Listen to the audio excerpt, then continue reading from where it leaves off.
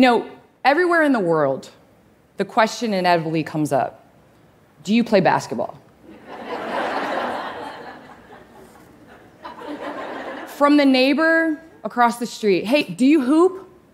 To the five foot seven guy at TSA pre check that swore that he could beat me one on one.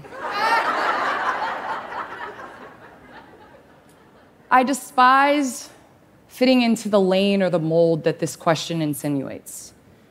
But I reluctantly say yes. I am a two time NCAA champion. Thank you. A two time gold medalist and a two time a two time WNBA champion. But inside, I scream, I am so much more.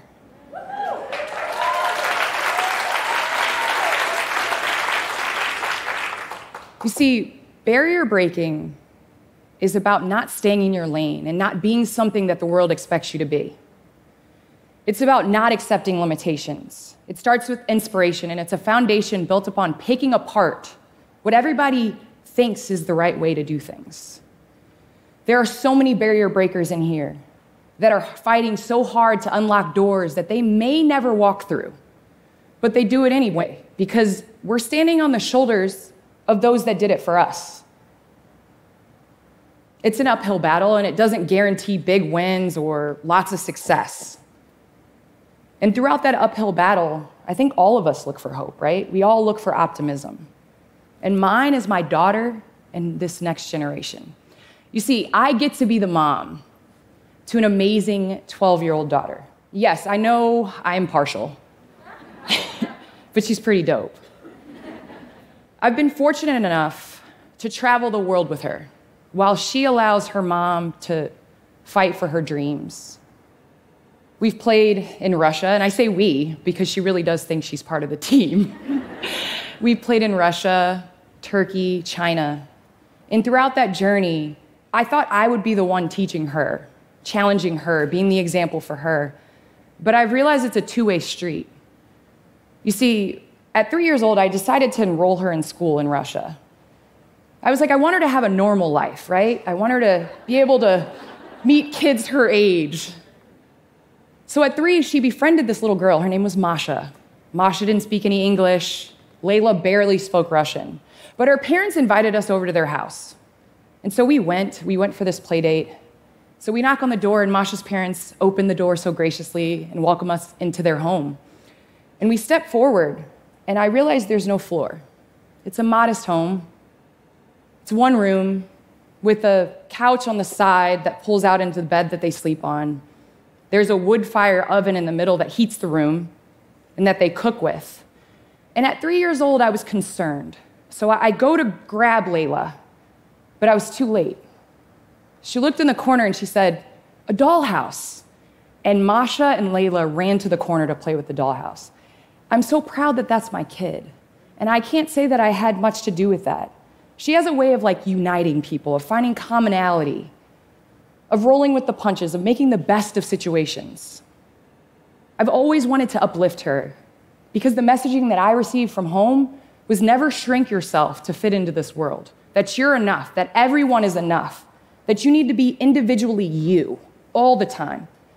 I was fortunate to grow up in an environment with my parents and my two brothers who empowered me every single day. They told me I can do anything I set my mind to, so much so that my nickname was Can Do.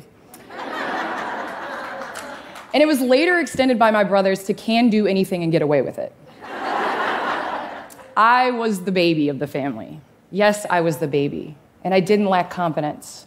If I wasn't kicking the ball out of the recess school parking lot in a dress to my mom's despise, or high, high in the trees, I love to compete at everything, not just in sports either. This one time, my teacher in elementary school, he said, I, I want to know who can learn the helping verb song the fastest. Is our do does did was verb and has had had shall am can be should would want could being made it was. I love to compete. I was that kid. I was that kid. But what I loved so much was that I was allowed to be me. I was allowed to compete. I was allowed to speak my mind. My parents encouraged that. Just because you're a girl, you don't have to stay in a certain lane. And then something happened in 1997. The Women's Professional Basketball League started. The WNBA had its inaugural season when I was 11 years old. And I saw people that looked like me playing the game that I loved so much. I no longer had to go out in the driveway and try to dunk like Michael Jordan. I could go out and get buckets like Cynthia Cooper.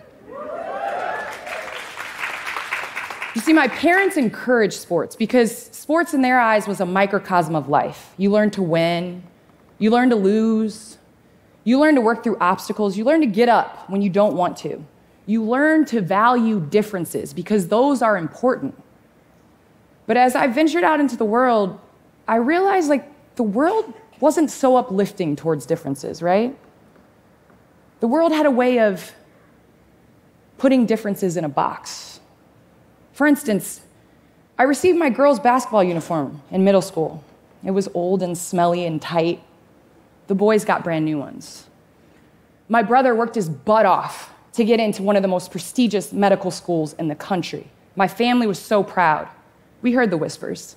They said quotas. The world had a way of just putting differences in a box and then getting mad when we had the, the audacity to not fit. Just as an individual, you get mad at me for not fitting in the box that you made.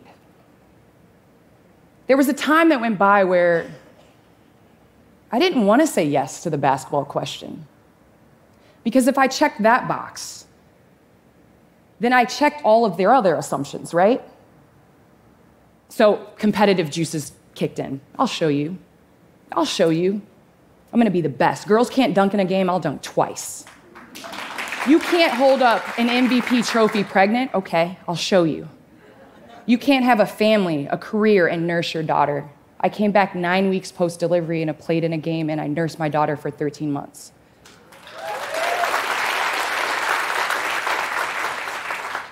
You can't be on the cover of a video game.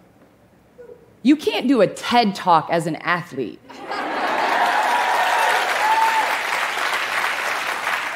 But this entire time, my idea of breaking barriers was being something so that the world could see that it was possible.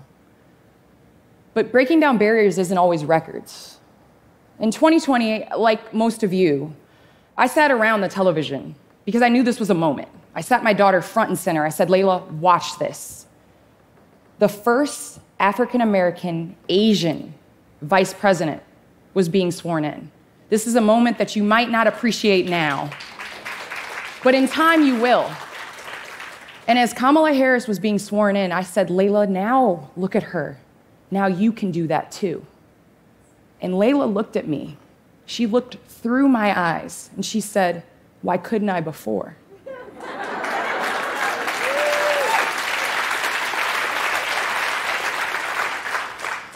Suddenly, I, I felt this big because I had become what I despised the most in this world. I had put her in a box. Because you see, the, the story that the world told me was women aren't vice presidents. And I had assumed that that's what they had told my daughter. I'm telling you, Generation Z, my daughter's generation, they're changing the world. They're changing the world through conversation, through unity, and through living as though boxes and barriers don't exist. It's no longer enough to just put your head down, get the job, accomplish the feat. We have to unite to come together to figure out why barriers are there in the first place. And Generation Z is doing that. They're listening, they're seeing both sides. And they're uniting for causes that don't directly impact them. We have entire sports leagues that are standing up for what they believe in. It's no longer just one athlete. We have men that are fighting for women to receive equal pay. We have white allies that are protesting racial inequalities. We are talking about mental health. And you know what's so special? My daughter, the other week, a couple weeks ago, came up and handed me a list of stores that we're not allowed to shop at anymore. So I'm like, Layla, like another lesson, like already. She's like, Mom, we're not allowed to shop at these stores because they're not body positive and body conscious towards all shapes and sizes. and you know what? I'm listening. I'll be honest, and I'm learning, and you should too. Because my optimism lies in the next that they will take our obstacles, our struggles, our insecurities, our challenges, and not see them as obstacles, but as opportunities. Or they may not even acknowledge them at all. I'm proud because Generation Z are proud, bold, and they're themselves. Because those that were told that they can't their entire life are having kids that are making us believe that we can. So go ahead, ask me if I play basketball. And I'll proudly say yes, because I realize I was the one putting basketball in a box all along. Thank you so much for this opportunity. Thank you. Thank you. Thank you so much.